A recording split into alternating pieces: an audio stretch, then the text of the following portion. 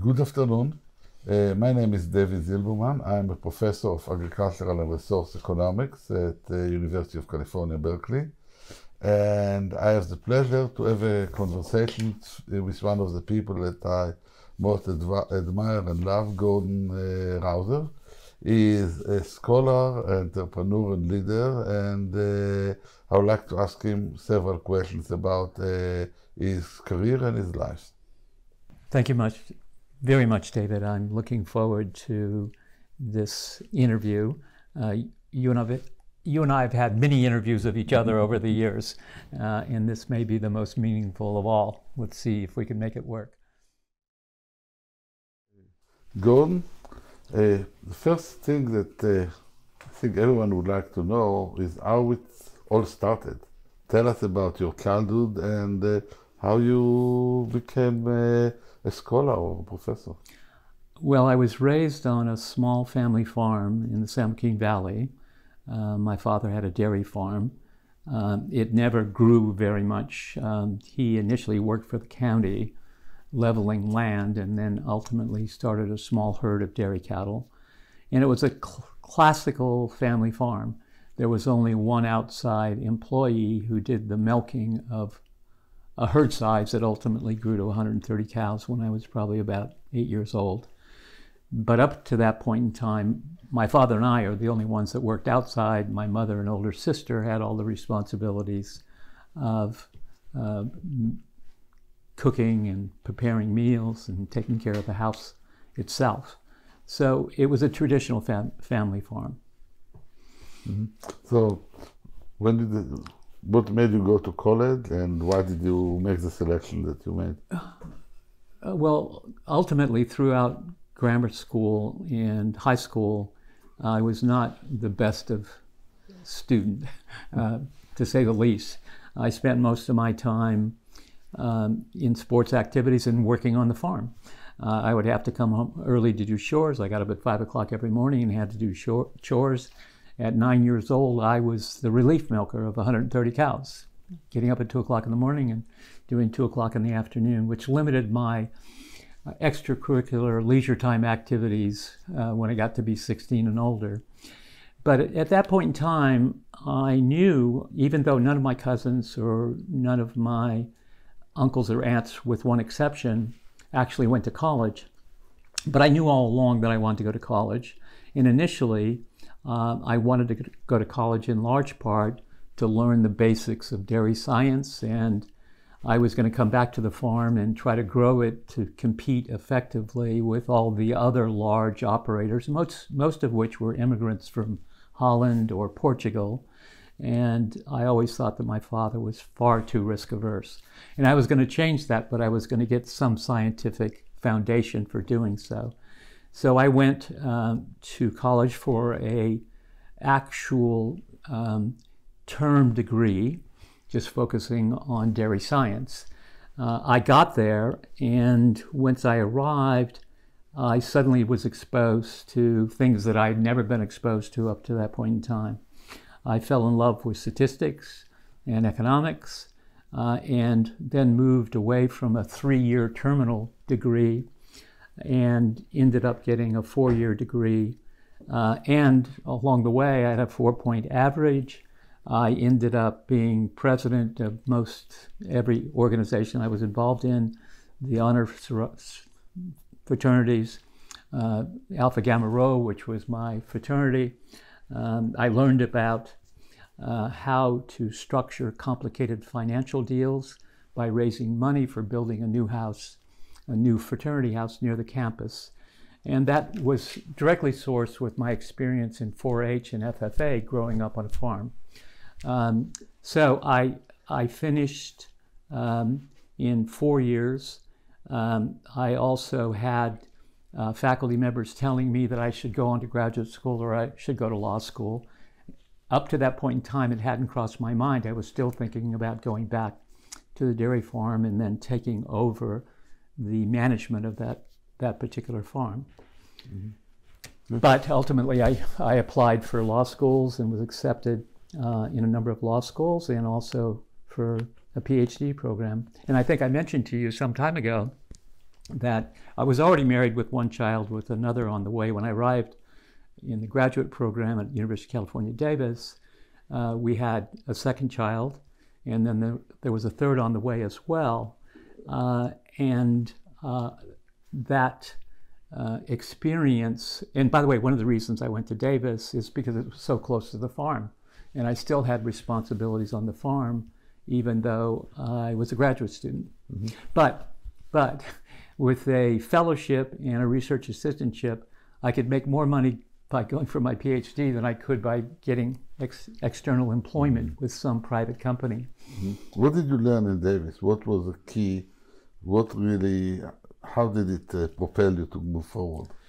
Well, I learned most. I, I learned the basics. I continued to pursue mathematical economic, pardon me, mathematical statistics and uh, economics. And what I learned most was about myself. Uh, that I had the basic intellects and the ability to work hard to distinguish myself relative to my fellow graduate students and ultimately the entire faculty.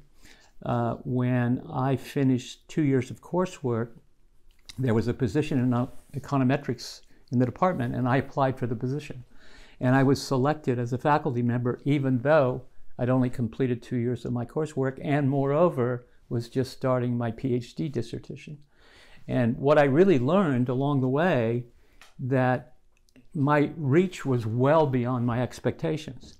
While I was on the faculty as, quote, an acting assistant professor, because you can't uh, have a regular position unless you've completed your PhD, which I hadn't. Um, th- the six best PhD students wanted me to be the director of their dissertation. So that gave me a clear signal uh, that I had huge upside, and the question was, can I manage it effectively? So that's what I learned most uh, at UC Davis. It was a perfect transition from my background, you know, going to Cal State um, at Fresno and then going to UC Davis. It was the right stepping stone. Mm-hmm. So then you left Davis. Why yes. did you leave Davis and what yes. happened next? Yeah. Th- th- that's not an easy question to answer. Yeah. I, I left in large part because I, coming back to the reach, and I was still trying to assimilate the reach that I had professionally, uh, I was asked to give talks all over the country. The NBR, the National Bureau of Economic Research, uh, began to hold conferences trying to integrate electrical engineering with uh, economic policy making. And I got on the forefront of that and uh, ended up impressing some, some significant intellectual capital, some of which were at Harvard, some of which were at University of Chicago. And I also was getting papers, even though I hadn't finished my dissertation, I was getting papers accepted at the Journal of Finance, the American Economic Review, the Journal of the American Statistical Association. So I felt uh, in, in, certainly I felt as though there was no limits to what I could possibly accomplish. So as a result, I applied for a postdoc fellowship at University of Chicago.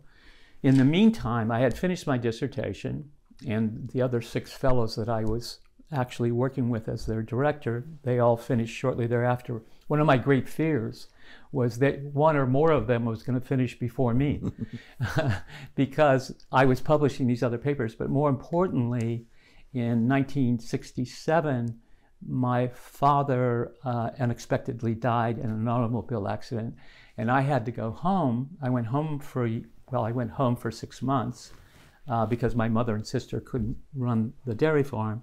And I actually ran it for six months. And then when I was at UC Davis, I was going there every weekend uh, doing the relief milking. Uh, so it was a very hectic period. At that point, my wife and I had three children already. Uh, the third child was born three months after my father died. Um, so that very chaotic, cha- sort of chaotic uh, life at that point in time came to an end when my mother decided to lease out the dairy farm to another operator and move into the nearest town um, near where her sister, her older sister, lived. And when that happened, then I was released. I mean, I could look around and, and decide where to go. So, coming back to your question, why did I leave Davis? I left Davis because I think fundamentally I outgrew it. Um, and University of Chicago was available, and um, it was a wonderful experience uh, because, in contrast to my experience at UC Davis, whenever there was coffee breaks or lunch, people came in and talked sports, played cards, whatever. At University of Chicago, you came in and you talked about current events and what was going on in public policy and and what what was working and what wasn't working. It was a much deeper experience with regard to the application of economics and statistics. Mm-hmm. Yeah. Who, who, at the time were the people that you met and admired and uh, Ted Schultz at University of Chicago uh, had me. I did a. Uh, I was commissioned to do a book early in my career with George Judge, one of our colleagues, um, and it was actually a review of quantitative economic analysis by the AAEA, which is now named the Agriculture and Applied Economic Association.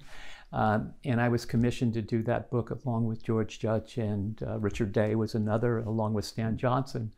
And I had done this piece about simulation, and there was a lot of work going on building these large scale computer simulation models for various developing countries, most of which was orchestrated out of U- Michigan State University.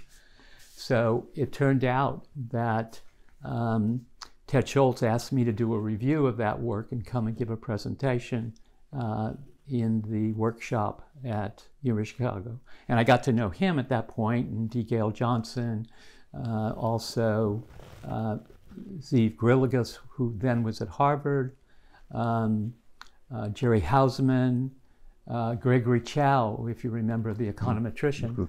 Um, he, he also was a real sponsor of me and my work at the time. Mm-hmm. Now, you wrote a book uh, with Eitan Hochman on, uh, on optimal control that I think won a contribution of enduring quality. Yes. Can you tell us a little bit about this? Yeah, yeah, well, that was very interesting, and that's another reason for wanting to leave Davis. Um, Eitan Hochman is a first-rate, wonderful economist, uh, and he was on leave uh, from Tel Aviv University uh, in Giannini Hall in our current department at Berkeley. And he called me up one day and said he wanted to come and visit with me. And he had read some of my work and he said, gee whiz, he'd like to work together. And he was looking at a, a number of, he had already completed a number of applications uh, to firm growth uh, using very advanced analytical models. And he had seen my work and he, he suggested that maybe we might want to work together. And once again, I thought, gee whiz, if, if my reach now goes to Berkeley, um, then and to people from Israel and some first-rate economists, then um, there's no limit to what I might be able to accomplish. So we we started off on that work. Um, and I think it took us seven years or so to finish it. Um, but it was a real pleasure working with Eitan. Mm-hmm. So from Chicago, you moved uh, to Iowa and then to Harvard. Yes. Can you tell us a little bit about your experiences? Yes. Once, once I finished the postdoctoral fellowship at University of Chicago, um, I think I had about eight or nine offers from various land grant universities uh, f- at a full professorship and I was, I think I was approximately uh, 30, 31 at the time. And Iowa State had the best applied economics, uh, pardon me, applied statistics department in the country, which is surprising, but not, that's not fair to Iowa mm-hmm. State. But they had some extraordinary statisticians, mm-hmm. um, and I certainly wanted to go, and they were, they were very uh, supportive of a joint appointment between economics and statistics. So um, I got the full professorship. I already had a full professorship at that point at UC Davis too, mm-hmm. but I had taken uh, a leave of absence when I was at University of Chicago, and then I resigned that position and accepted the position at Iowa State. I was only there for about six months, and Harvard came calling uh, with regard to a position. And um, ultimately, it was a very attractive position, and, and, I accepted it and only stayed there for one year. And I there being, I would uh, say, yes. So, so you went to uh, Harvard. What is the difference between uh, economics, uh, statistics versus a business school in terms of teaching yeah, and environment. A, yeah, that's a very good. It, Harvard was a wonderful stepping stone for me, not only in terms of reputation and signals about the quality of my work up to that point in time, but more importantly, within the business school, there was one particular sequence that was statistical decision theory. They called it managerial economics, but it was really the integration of decision making with statistics. So it was perfect for me, uh, given my interests up to that point in time. And the intensity in terms of the instruction was something I'd never experienced for, before, or for that matter, since. Uh, there were seven different sections of this statistical decision theory course for first year MBA students, and there were a lot of economists, PhD economists, that were in the class as well. But at the beginning of each week, we would get together, and at that point in time, the giants in terms of statistical decision theory were all in the Harvard Business School. John Pratt, um, uh, Schlaifer, uh, Howard Raiffa, Luce was there as well. And we, at the beginning of each week, we met about the pedagogy and the cases that we're going to be teaching over th- three different lectures. Uh, and at, at, the end of the week, we got together and evaluated what worked and what didn't work. And then we actually recorded all of this for the next group that was going to come on to teach the course. And what was different about that was it's not a straightforward lecture. You have to end up with, you've got boards behind you, you've got, you know, 80 people sitting in rows up where you can see everybody and there's a big name tag right before them. And you're going through the process of trying to elicit from them the right answer. And if somebody makes a huge mistake surprise surprise you're not going to write anything on the board. If somebody really provides a critical insight with regard to the inferences that you want to draw, you're writing on the board. So it's not it's a short matter before all the students realize the direction in which you want to take the class. And that was a wonderful experience, and, and, and um, I trace it back to my experience as a judge of dairy cattle. When I was an undergraduate, um, I learned a lot about being uh, exposed to uncontrollable events and how then to respond to it. In these dairy cattle judging contests, you would see there are five different breeds of dairy cattle, and you'd have to place them, and you'd write down your placing and submit it, and then you'd have to go to three judges sitting behind a desk and give your reasons within 10 minutes of actually uh, recording your placement and give your reasons for why you placed them the way you did. And I also found out at that time that there's a lot of uncontrollable events. The question is, how do you manage it? How do you respond to it? And moreover, there was one instance, there were three major conferences that were held on dairy cattle judging, and I won two of them. And there's, you know, there's probably a 150 college students mm-hmm. uh, participating in this. And then there was one uh, in Waterloo, Iowa, mm-hmm. which is the National Dairy Congress, um, I actually placed uh, a class of brown Swiss cows backwards from what the way the judge had placed it. But when I gave went in to give my reasons, they gave me a full score on the reasons for doing so.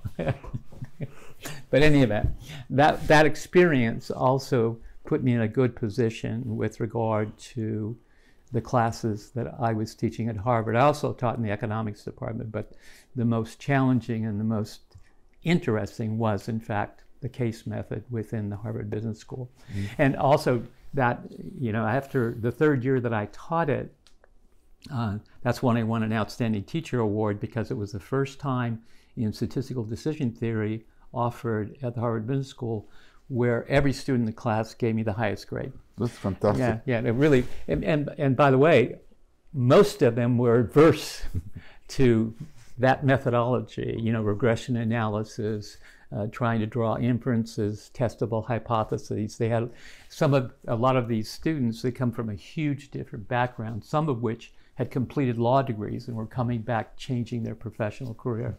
Mm-hmm. Good. So now, when uh, when did you start uh, trading and getting involved in uh, in, ah. in business? Was it in Harvard or? Yes, the the maiden voyage into business was at Harvard, and that happened in large part uh, because I got down to a point. My wife and I got a divorce, and with alimony and child support and living costs, I suddenly didn't have any discretionary income. So I looked around and thought about, gee whiz, I have to get another source of income given my financial responsibilities. And I thought about uh, actually turning away from academics very briefly, but I couldn't do it because I simply loved it. So I then spent some time looking around. I'd published a lot of papers and, you know, academic papers on future markets. And some of my fellow faculty members at Harvard and a number of the MBA students encouraged me to set up a uh, hedge fund trading future markets. Uh, we're talking about mm-hmm. different commodities, uh, whether it be the basic grains or even the precious metals or the base metals, and they're very active future markets. So I, I set that up um, and went through the process, and that was the fir- first step uh, in the direction of some real entrepreneurial activity.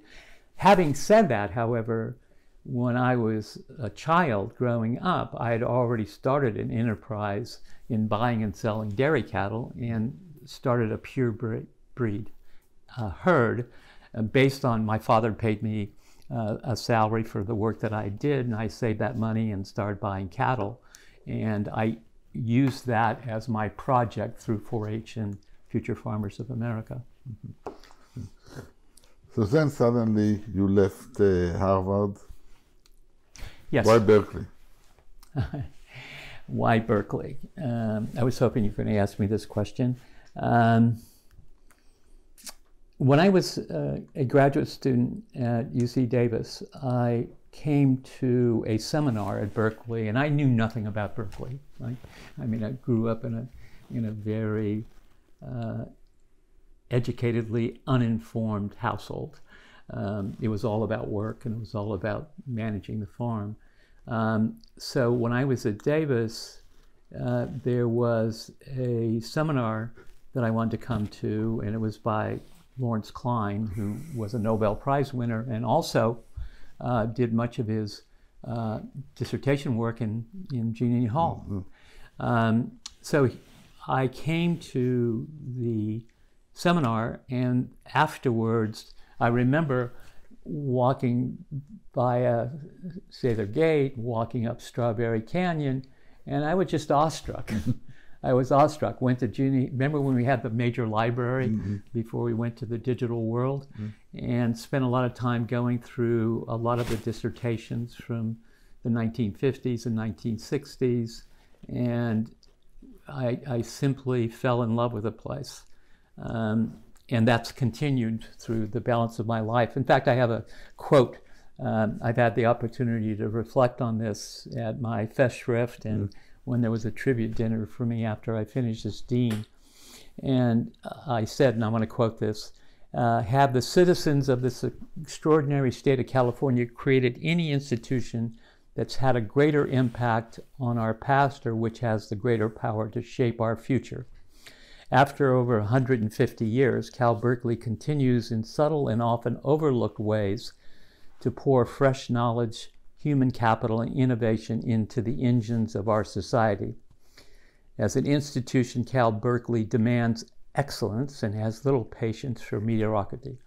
It, it often focuses on the latest and the newest, but never allows itself to be consumed by the intellectual fad of the day. It's a body that both thinks before and beyond its time. Mm-hmm. And with regard to the College of Natural Resources, or CNR, which has become our CNR, uh, that uh, we've always taken pride in the fact that we were one of the two cornerstones of the Berkeley campus. So, so, so you were in Harvard. You start thinking about movies. Yes, yes, uh, and the the the reason for that uh, first and foremost was family. Um, my former wife was living in Mountain View, and the three children were with me. I had custody during the summer and during all uh, breaks, uh, holiday breaks uh, from their respective schools. And I would drive out to California, pick them up in a car, and we drive back across the country. And whenever I did a sabbatic, like in Israel, for example, they were always with me uh, because it was during it was during the summer, and then they would stay there and go to school uh, with me. There, uh, which in fact my former wife granted me the privilege of keeping there to, for the, the, the real experience of living elsewhere in the world. But um, it was getting very, very difficult to keep up uh, with regard to their uh, maturity process and what was going on. So I wanted to come back to California, and I still had a lot of family here and friends. So I ended up getting an offer from Berkeley and an offer from Stanford. And when I stopped and thought about uh, which of those two places I wanted to be, uh, Berkeley was much more attuned to my value system. And in particular, uh, Berkeley at the time, and I think it's still true, although I haven't looked at the recent data, that Berkeley uh, was probably, as an institution, more responsible for social mobility uh, for first generation college students uh, than probably any other institution, certainly in the state of California and certainly in comparison to Stanford. Uh, and it was certainly true with regard to a comparison with Harvard. Uh, as well. When I was there at Harvard, there was a lot of legacy students, undergraduates, um, and that's something you don't that I did not experience at Berkeley or, for that matter, at Davis. So I ended up accepting the position at Berkeley, um, So and you, one of the best choices I ever made. so you you hired uh, as a chair, and uh, you took a department that uh, I was a student that was uh, basically doing uh, quite badly, and within a short period of time, you turned it around. What was the Oh, I think, secret? yeah, I, we turned it around. We, the entire faculty turned it around, and and when I arrived, there was these reputation studies, and Berkeley department was ranked 11th in the country, um, but um, we we had the right values, we had the right culture, and now the question was to make tough decisions with regard to avoiding mistakes of giving tenure to people that wouldn't continue to perform at a very high level.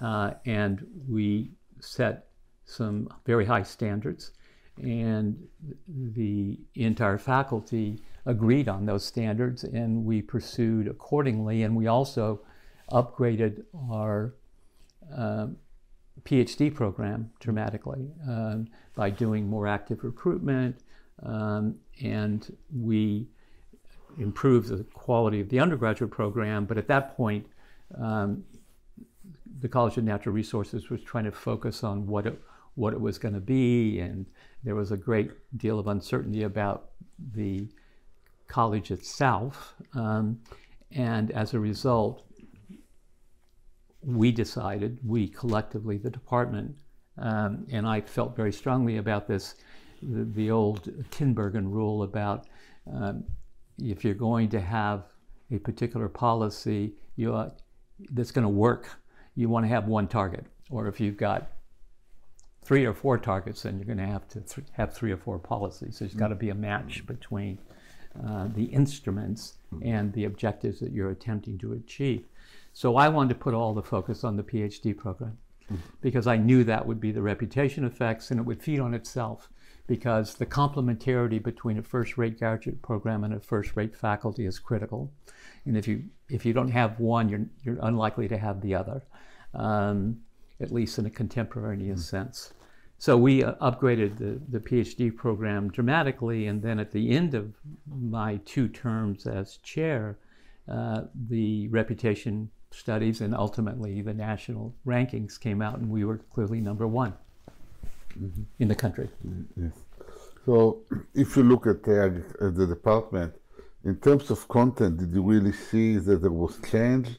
It was a traditional agricultural economic department, and during your time, it seems that uh, it become Yes. uh, the, the, the notion of agricultural economic has, uh, has changed. Yes, it certainly has. It certainly has. It's expanded dramatically.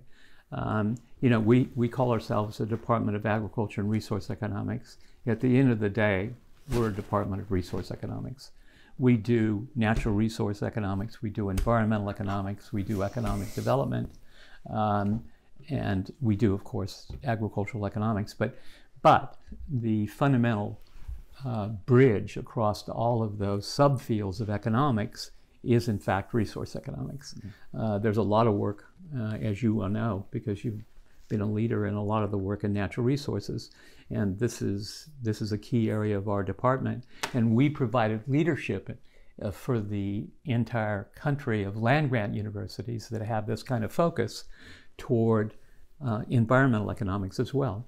We, in short order, uh, in the early 1980s through the mid 80s, upgraded dramatically our environmental economics course offerings and our PhD program with regard to environmental economics. And, and there was some, along the way, there was some concern on the part of the general economics department gee whiz, they're taking this away from us. Uh, we weren't taking it away from them, we were just making it better. Um, and we, of course, uh, became the real strength of environmental economics on the Berkeley campus, and that continues to this day. Good. So, so you were there for several years, and then suddenly there was a shift. Yeah, there was a shift, yes. Uh, I got the opportunity um, to spend some time in Washington, D.C., and I was starting to do much more work uh, at that point in time academically on political economy, uh, on public policy. Uh, and while I was at Harvard, I met um, uh, Clayton Yeutter, who came in. He actually was a negotiator in the cheese wars that took place uh, in the 1970s. And he had had me come in and advise him when he became Secretary of Agriculture during the first uh, Reagan administration. Um, actually, he was, no, he was head of USTR. And then subsequently, he was Secretary of Agriculture. But in any event, he, he called me in and asked me to please accept a position on the Council of Economic Advisors in the Office of the President. Uh, so as soon as I finished the second term as chair of our department, I did uh, go to Resources for the Future, which is also in Washington, D.C., and I spent uh, a year there uh, as a, as a with a senior fellowship, and then I spent time working with Yeutter uh, along the way, and then I accepted a position to go on the Council of Economic Advisors as a senior economist. So, what what was the real impact of your work? The real impact of the work at that point in time, this is 1986 87. I was there for two years. And the chapter in the office of the president, that chapter focused on the disarray that existed within global food and agriculture. And uh, one of the impacts is that that was the last chapter published on that particular topic for the next 20 years, 20 or so years. No one else had ever revisited it after the work uh, that I had done, w- along with, with a number of assistants. Uh, Doug Irwin, who's a famous economist now, uh, who was at University of Chicago and now is at Dartmouth, uh, was working very closely with me as an assistant. And then we published some papers subsequently related to that work. But fundamentally, it was totally disarray. Why? Because to give you a concrete example, um, it turns out, coming back to my childhood, the European Union was taking manufacturing buddy, butter, I'm sorry, butter from dairy milk and refeeding it back to the animals. Uh, to show you how they were trying to deal with the surpluses. If they couldn't dump enough of it on developing countries, then they would have to find a way to avoid the carrying cost of butter that wouldn't be consumed locally by, by the French people in particular. Uh, and here in the United States, uh, we had export enhancement programs. The Department of Commerce, which is, quote, anti economic, uh, that's a personal opinion, uh, the Department of Commerce uh, got legislation for export enhancement, which meant you could subsidize the actual export. Uh, and in, it turns out that when you engage the large trading companies to perform the functionality of moving product that's domestically produced here in the United States to these developing countries, you had to pay the high price supports in the US, but you could, whatever price you happen to get in the developing countries, which in some cases were actually 0 mm-hmm. all you had to do is report that back to the Department of Commerce, and they would give you the difference between those two. And so, their business, uh, I'm talking about the Cargills of the world, their business is actually trading large volumes. This is nirvana for them, uh, free money uh, from the US government. That was going on simultaneously, and prices were being driven down throughout the globe um, with regard to agriculture and food items. And as you can imagine, Australia, New Zealand, Thailand in particular, which are major exporters, were very upset about this process. So, uh, even though the Reagan administration had tried to reform through legislation, as you know, every four years there is a farm bill or uh, a food bill. There's different names that are given, food security. Um, whatever's fashionable at the time with regard to the appropriate narrative. But in any event, um, they, the Reagan administration, tried on two separate occasions to reform these policies that were leading to these huge surpluses, once in 1981 and again in 1985. And in both cases, it was dead on arrival. Why was it dead on arrival? Because in our Constitution, every state has two senators. And that gives unnecessary weight to the Midwest with regard to continuing to get support through the government to subsidize their actual agricultural activities. And I'm talking not only about the um, Illinois, Iowa, but Minnesota as well, Michigan, all of these states. So, how did your work change it? Well, it changed it the following way.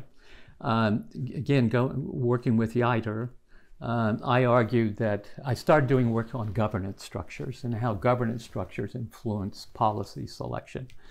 And I argued with Clayton the only way of getting major reforms was to actually go to a international forum and invite other people to have access to the decision making process, particularly Australia, New Zealand, uh, Thailand, um, the OECD. So, so basically, what you say is that your work really led for ag policy to be part of the GATT. Yes. Yes. You know, this, it became this... part of the GATT, and then that segued, as you know, in the Uruguay round. Uh, that actually was initiated while I was on the council in 1986, and it took uh, till 1995 before there was an ultimate agreement. But what that ultimate agreement did, it eliminated what's called coupled subsidies, namely subsidies or transfer payments that end up in creating incentives for more output, to decoupled subsidies. Um, and that was a major restructuring, and that would never have happened but for convincing the Congress uh, and the executive office to actually move and allow agriculture to be included in the agricultural negotiations. Because up to that point in time, agriculture was always excluded. Why was it always excluded? Because the senators uh, from those Midwestern states didn't want to take the risk of losing control over setting policy. Mm-hmm. Well, this is really interesting. So, so to some extent, economic analysis that you and other uh, introduced made agriculture part of international trade negotiation and resulted in a much more reasonable policy. Yeah, first time. For first, first time. time. Yeah. Now, when you were in Washington, how did you move from ag policy to suddenly to AID? Yeah, well, um, in in the negotiations uh, in the Uruguay round of the GATT negotiations, which ultimately seek, uh, segued into the World Trade Organization, um, I was asked to go with the three representatives from the USTR, USTR, uh, United States Trade Representative mm-hmm. Office, and they're responsible for trade uh, among countries, uh, representing the United States, of course. Well, they were there negotiating on the Uruguay round. And Yeutter was there, uh, a fellow by the name of Alan Woods uh, was there as well. And I was the person, along with other staff, sitting supporting them and uh, in, in the negotiation. So I learned a lot about the negotiations, but also it turned out that Clayton Yeutter was going to be appointed as the new Secretary of Agriculture, and Alan Woods was going to be appointed as the administrator of AID in the State Department. Um, and AID is, the, uh, Agency for International Development, right? And its its principal function is supporting uh, developing countries, uh, either through humanitarian aid or in helping with regard to economic policy making. Uh, so as a result of that experience, they had me come in and give a couple of seminars. I, you know, I wasn't regarded as a development economist, mm. uh, but um, I, I, had done a war- lot of work in policy, governance structures, political economy, and that's what they were looking for at the time. Um, and I was invited to be the chief economist. It was a two-year appointment. I took a leave of absence from Berkeley um, and spent another two years in Washington, D.C. And that too was an extraordinary experience because while I was there, the Soviet Union collapsed.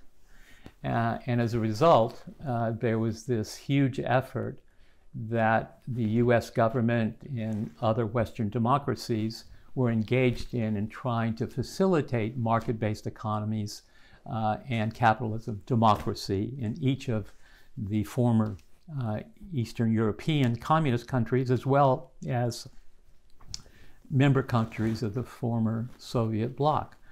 And I got in on the ground floor of that and also then set up the Institute for Policy Reform, uh, in which, taking the experience of the Uruguay round, I was hoping to apply that on a much broader scale to each of those countries that were in transition. And then there was a huge amount of effort on transition economies. Transition economies, what does that mean? It means you've got communist regimes, you change the structure of the political process, and you move to some sort of democracy. And along the way, you want to avoid, to the extent you can, crony capitalism. You want to have good governance structures in place and that's what our focus was at the Institute for Policy Reform. So then I became president of the Institute for Policy Reform, even though I'd come back to Berkeley after the two years and ran that for another two years. And during that period, I was also asked by my department to become chairman again, which I did. And then uh, suddenly you became dean. Yes. Why did you be, why did you why did you close this job and yeah that's a very good question david. It turns out i had no intention of, of becoming dean. I i had done what i regard as more than i my share of the joint burden of running academic departments. And i'd served three times as ch- chair of are agriculture and resource economics. And moreover, I was president of the Institute for Policy Reform, so that was sort of my outside activity. Um, and then I was also involved at the same time in some entre- entrepreneurial activities, including co founding a firm with three colleagues one from the business school, one from the law school, and one from the economics department. And I was doing all those things at the same time, but I wanted to get back into my research. But it turns out that the office of the president in 1992 93, uh, there were major budget cuts. We were in a recession um, in, the, in the United States. And as a new, as a potential dean, the first thing the potential dean was going to have to do was downsize the staff by 50%. But more importantly, uh, the vice president uh, responsible for natural resources and agriculture in the office of the president in Oakland, wanted to downsize College of Natural Resources by about 40%. percent mm-hmm. uh, and the question is who was going to step in uh, to be to provide real leadership uh, in trying to determine what the right answer was with regard to that so-called realignment. And I just sat back, and I, I, quite frankly, this may sound a bit arrogant, but I looked around, and there were four other people that had applied for the deanship, and I decided that they weren't going to be able to get it done, but I knew I could. So I applied for the position, and then I got the deanship, and that's 19 early 1994. Mm-hmm. So, how did you keep the what is now uh, RC&R intact? Um, I think you know the best example uh, of that, learning early from my experience of working with my colleagues in ARE and the trust and respect that we had for one another and and uh, setting specific goals and pursuing them uh, in a disciplined and managed way that I learned a lot from that experience and, and it's all about trust and, and respect at the end of the day. And when I applied for the deanship, the person who was chancellor at the time was Chancellor Tien, and the provost is Carol Christ, which is our current uh, chancellor at UC Berkeley. And along the way, I also not only maintained trust and respect with regard to my colleagues within my department, I really went out of my way to service not only our interest, whatever our happens to be with regard to the academic unit, and the person that we were reporting to. Doris Calloway was provost. I had a wonderful working relationship with her. When I first became chair in my, my department, uh, uh, Heyman was the chancellor, Rod Park was the vice chancellor. I had good working relationships with them. Uh, and whenever, you know, something as silly as Gordon Getty writing a piece on the theory of interest rates, who did they, who did Heyman and, and Rod Park send it to? He sent it to me to review and then to meet with Gordon Getty to tell him that it was mostly nonsense. They didn't take it to the macroeconomic people in the economics department. So that's the kind of relationship that I try to develop over the years, and it worked very well. But the one that worked especially well was with Carol Christ because she came into the provost's office the same time I became dean of the College of Natural Resource, Resources. And she had to work with me hand in hand in dealing with this realignment proposal. And, um, you know, over the years, I, I think I, my last count, I counted up something like 36 uh, awards and honors, you know, best journal article, research discovery, uh, publication of enduring quality, policy awards, even awards, leadership awards from the State Department. Or another example is the awards for, for, from the American Antitrust Institute. But the, the major excitement and gratification for me is the kind of comments of people that I've worked with you know, on a daily basis. Carol Christ, in particular. Um, at my Festschrift, she made a, a, series of comments, and then at my tribute dinner, by the way, she plagiarized her own work because she actually published it, the tribute dinner. But I'd like to share this. Um, uh, and she says, and I quote, uh, the philosopher Berlin made a distinction based on the fragment from the Greek poet on the fox and the hedgehog. The fox knows many things, but the hedgehog knows one big thing. For Ber- Berlin, the, the distinction marks the deepest difference between different kinds of writers and thinkers. Fox, foxes pursue many ends, often unrelated. Hedgehogs relate to everything to a single central vision. Shakespeare is a fox, Milton is a hedgehog. Or, to switch to spheres of activity, Bill Clinton is a fox. Kenneth Starr is a hedgehog. I've been wondering whether Gordon is a fox or a hedgehog. He brought an extraordinary variety of innovative ideas and strategies to his deanship. The personality of the, of the fox. He knows many tricks, but his most characteristic strategy is to resort to first principles. In that, he is a hedgehog. He has insisted on uncompromising standards of excellence. At the same time, he created an organization for the college that respects its variety and heterogeneity. It's a testimony to his achievement as dean that he is something of both the fox and the hedgehog, or to return to my first metaphor, the boxer who can weave and dodge, can stand his ground, can jab effectively and deliver a knockout blow when he sees his opening. I mean, that's there's nothing quite more uh, infectious about making a difference than someone like Carol Christ taking the time and effort to record such comments. It's much more important than any and all the awards and honors that I've gotten over the years. But what what really happened? What, what really happened was that along the way, um, we did a number of restructurings. We moved to um, countering the realignment proposal, making strong arguments that the shared governance structure principles had been violated by the Office of the President. I went and made presentation to the system-wide academic council and explained this, and there were some people that were very upset about that. But because we had the inside lane and the right track, we prevailed.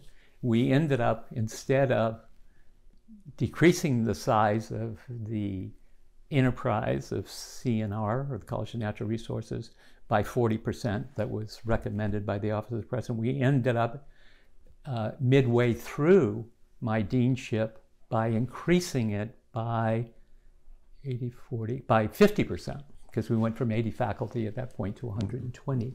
So, um, and, and with, with that growth, there was great excitement about recruiting new people, uh, finding the best possible people we could uh, for each and every open position. And there was a real excitement within the college. And then also the other major opportunity that took place, we set up a number of what I would call green shoots in terms of centers of excellence. You were responsible for more than one in that respect, but we set up other centers. Uh, we actually took the savings we had, put it into a pot, and then redistributed it in accordance with excellence of what discretionary funds we had as a college, including the endowment. Um, that created a lot more excitement.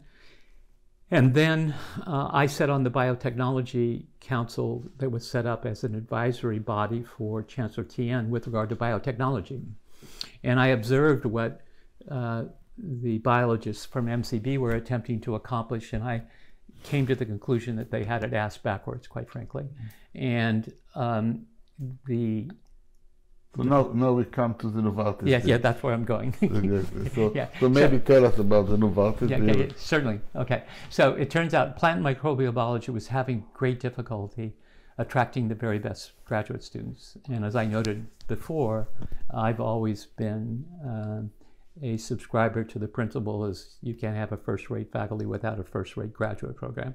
So um, they were having some difficulties, and some of their major professors were also getting offers from various places, and we were having difficulties um, retaining them. Um, and the graduate population, at least the quality of it, was dissipating rather dramatically because a number of other major universities, Stanford, Harvard, Princeton, all the big universities, were moving into this field of biotechnology, plant biotechnology in particular, uh, which is the domain of the Department of Plant and Microbial Biology. So um, I spent a fair amount of time with the a few key people from the department, including the chair, and they were they were trying to raise money to support their graduate program, but they were getting nowhere. Uh, there was no real interest in any donors to step forward and help them in this regard. So I said, why don't we just pursue a very active strategy? We'll send out a proposal to each and every one of the major plant biotech, biotechnology companies in the world and invite them uh, to enter in negotiations with us about joint public private partnerships with regard to research and development. Um, and, and as a result, we sent that out to 15 different companies. Uh, five have responded very positively. Uh, three of the faculty and I went out to four of them. One of them was a Japanese company, and it didn't really seem as though it was a real opportunity. But the other four, all in the United States, were. We went out and made presentations to each of them, then went into negotiations, um, and each of them came forward with specific offers. And we had requirements as well. Um, and the one that we ended up selecting was Novartis. Now, this resulted as a huge amount of controversy because a number of faculty uh, were convinced that if, in fact, we did a, a private uh, public partnership like this, the corporation would end up controlling the research agenda of the faculty. And that happened at a number of other places. Washington U is a perfect example in terms of their relationship with Monsanto, which has its headquarters also in St. Louis. And they had to- they Monsanto had total control over the research agenda because they put out RFPs. Mm. Um, so we were aware of this, and, and at the end of the day, it was a bit more complicated than this, but it turned on academic freedom. And whether, in fact, you could enter into such an agreement, but the faculty still had individual freedoms with regard to what they wanted to work on and what they did work on. Um, it would result in a lot of money that would come to supporting graduate students, and moreover, the overhead turned out to be generating something like we generated maybe $12.5 million for the oh, rest of the campus uh, by this, this particular uh, program. And, and uh, moreover, um, our current chancellor referred to that as the opening the door to real entrepreneurship in terms of these public-private partnerships. We had a number of subsequent ones that have taken place following the pattern that was established by the Berkeley Novartis agreement. And the, the controversy once again came back to people's fears, justifiably, if in fact you eliminated academic freedom. But the whole point, in fact, I published a book on just this question about how we went about structuring to maintain the academic freedom mm. uh, while, while increasing the resource base to improve the graduate program and the quality of the faculty research, which we certainly did, and, and that's been documented in a number of other places. And there's there was some bad press during this period of time too. The Atlantic Monthly did a piece on the kept university mm-hmm. um, and gave examples of how the dean of Haas was the Bank of America chair professor, and that's an instance that Bank of America had some influence over mm-hmm. Haas Business School and used um, me as an example about we'd got money from Novartis, and thus we were beholden to Novartis. That's just nonsense. Well, I, I think 10 years or 20 years down the line, I think we really see that yeah. it is over. Now, after your deanship, you continued to be a professor, but then suddenly you surprised everybody with uh, the big gift. What was the motivation and what is the vision and where do you see it going? Well, my experience, well, first of all, let me back up that I had a fair amount of luck. I started, founded, co-founded a, couple of companies along the way, and I briefly described to you my hedge fund, and I pursued uh, various entrepreneurial activities. I was an expert witness in a lot of major cases that related to one of my companies, and I was always looking for the complementarities between the work that I was doing in the real world quote, whatever that is, uh, and the academic world. And I found those complementarities, and as a result, uh, had the good fortune of, of generating a fair amount of wealth. Uh, so when I got to the point of retirement and had the Festschrift, I was sort of caught up in, in how the university turned out for my Festschrift. Like Randy Katz, who was vice chancellor of research, said, he thought it was one of the best Festschrifts he'd ever been to, not only here but elsewhere. And he, he was the MC for the two days of the Festschrift here at UC Berkeley. But after I came away from it, I thought, gee whiz, given my experience as dean and when I was chair, we were always sort of chasing for resources, trying to do things that we could have had a much larger impact if we had access to those resources. And so I decided to um, gift to the University of California, Berkeley, um, a $50 million gift, um, which I spent um, a couple of months right after the Festschrift. I think it was probably a month and a half afterwards, right in the midst of, of the COVID 19. And we got that negotiated and got it instituted at the end of 2020. So, how did your family react? React? They lose your, they lose their inheritance. No, they didn't lose their inheritance. There's no, no, no. They they were all protected. I, I, in terms of my nine grandchildren, I set up a, a trust for them uh, long ago, um, and they are all doing very well. And I also did a fair amount of estate planning for my three children and transferred a lot of wealth. They were very, you know, they have nothing to worry about financially.